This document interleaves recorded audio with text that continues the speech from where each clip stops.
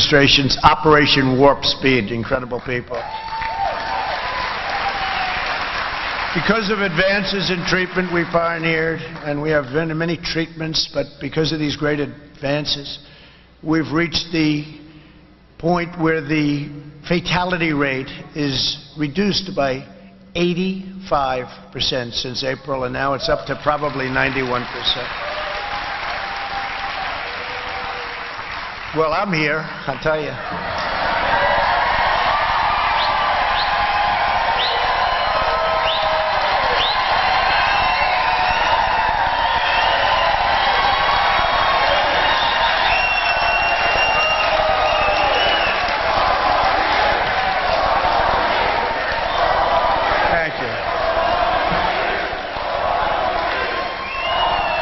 I don't know what they gave me, but give me some more of it right now, and you can have some. No, I know exactly what they gave. It was actually pretty amazing. I'm also working with the FDA and HHS to make the antibody treatment that I received.